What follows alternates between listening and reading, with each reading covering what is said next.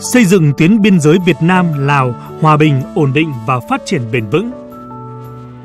An ninh của nước này cũng chính là an ninh của nước kia. Đây là lời khẳng định trong tuyên bố chung Việt Nam Lào vào tháng 9 năm 2024.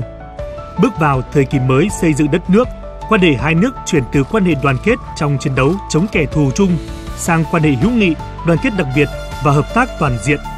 Trong đó, hợp tác quốc phòng Việt Nam Lào là trụ cột đặc biệt quan trọng. Quân đội Nhân dân Lào luôn coi tình đoàn kết đặc biệt với Việt Nam là truyền thống tốt đẹp và có một không hai trên thế giới này. Đây là yếu tố quan trọng quyết định đến thắng lợi trong sự nghiệp giải phóng dân tộc của hai nước chúng ta và đã trở thành tài sản vô giá của hai đảng, hai nhà nước, hai quân đội và nhân dân hai nước chúng ta. Chúng ta phải kiên quyết bảo vệ tài sản vô giá trên như bảo vệ con người của mắt mình. Trên cơ sở nghị định thư và kế hoạch hợp tác hàng năm, hợp tác quốc phòng Việt Nam Lào ngày càng đi vào chiều sâu thiết thực với nhiều kết quả nổi bật trên các lĩnh vực như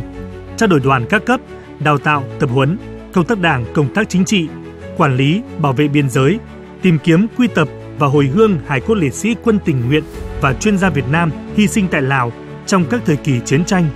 phối hợp chặt chẽ và ủng hộ lẫn nhau tại các diễn đàn quân sự quốc phòng đa phương. Đặc biệt, giao lưu hữu nghị quốc phòng biên giới Việt Nam Lào lần thứ hai vào tháng 10 vừa qua đã diễn ra thành công tốt đẹp,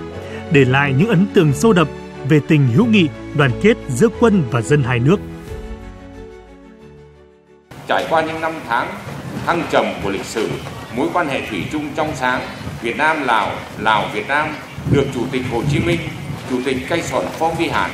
và Hoàng thân Suvarnabhum đặt nền móng, vun đắp đã không ngừng phát triển lên tầm cao mới. Mối tình đoàn kết đặc biệt và hiếm có này chính là tài sản vô giá của hai dân tộc anh em chúng ta Quân đội Nhân dân Việt Nam cũng đã hỗ trợ Quân đội Nhân dân Lào xây dựng các công trình như Học viện Quốc phòng Cây Sòn Phong Vi Hẳn, Trường Lý luận Chính trị Quân đội Nhân dân Lào, Trường Văn hóa Dân tộc Quân đội Lào, Trường Nghiệp vụ Biên phòng Lào, Doanh trại Sư đoàn 1, Doanh trại Đại đội Biên phòng 320 tại huyện Sepol, tỉnh Savanakhet, Lào. Qua đó, càng thắt chặt thêm mối quan hệ đoàn kết đặc biệt giữa hai quân đội của hai nước. Quân phục bộ đội Việt Nam và bộ đội Lào có khác nhau,